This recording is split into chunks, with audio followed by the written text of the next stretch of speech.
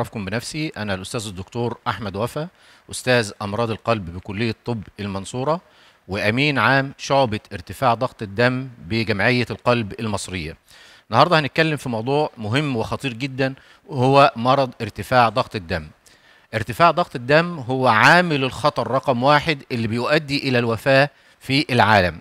أمراض القلب هي القاتل الأول للمصريين. 50% من المصريين بيموتوا بأمراض القلب والعامل الرئيسي في الموت نتيجة أمراض القلب هو ارتفاع ضغط الدم. مشكلة ارتفاع ضغط الدم إن هو بنسميه القاتل الصامت. ليه القاتل الصامت؟ لأن للأسف ممكن المريض يبقى ضغطه عالي جدا وهو مش حاسس بأي حاجة ومفيش أي أعراض غير شوية دوخة وزغللة وصداع. المشكلة الأكبر إن إحنا عندنا في مصر تقريبا حوالي 26% يعني ربع المصريين تقريبا مصاب بارتفاع ضغط الدم.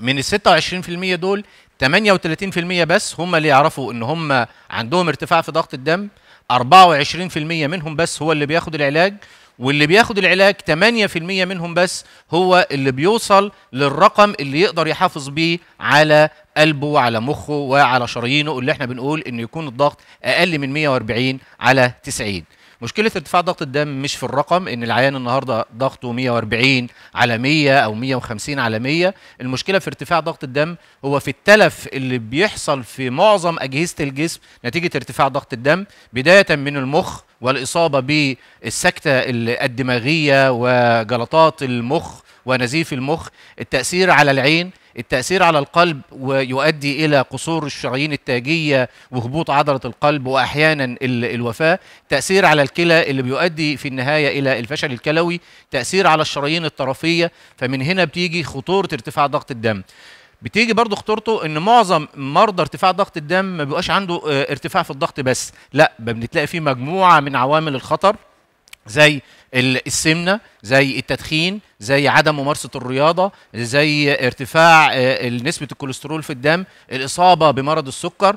كل دي عوامل اللي بتؤدي في النهاية للأسف إلى المشاكل الكبيرة اللي إحنا بنشوفها في المرضى نتيجة أمراض القلب وأمراض المخ وأمراض الشرايين الطرفية واللي بتؤدي للأسف إن جزء كبير بيفقد العمل بتاعه وما بيقدرش يكمل حياته أو للأسف تؤدي إلى الوفاة. من هنا بتأتي أهمية إن إحنا لازم نعمل توعية بارتفاع ضغط الدم إن كل إنسان بالغ لازم على الأقل مرة كل سنة يقيس الضغط بتاعه ولو اكتشف إن ضغطه عالي لازم يتابع من أحد الأطباء يتأكد إن هو فعلا عنده ارتفاع في ضغط الدم وبعد كده يبدأ يلتزم بخطه العلاج اللي الطبيب هيوصفها له يغير من نمط الحياة بتاعه لازم يبدأ يخس في الوزن لازم يمارس الرياضة على الأقل نص ساعة في الأسبوع.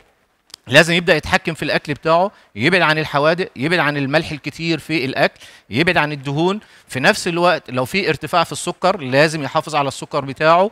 آه لازم يتابع لحد الضغط ما يقل عن 140 على 90 وفي التوصيات الجديدة يكون أقل من 130 على 80 وبالتالي يقدر يحافظ على قلبه وعلى شرايينه وعلى مخه ويعيش حياة طبيعية تماما.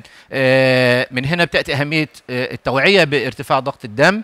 فلازم كل إنسان يتابع ضغط دمه ولو هو فعلا عالي لازم يتابع معه طبيب عشان يقدر يحافظ على صحته وحياته. تمنياتنا بالشفاء لكل المرضى وتمنياتنا بالصحة والسعادة لكل المصريين.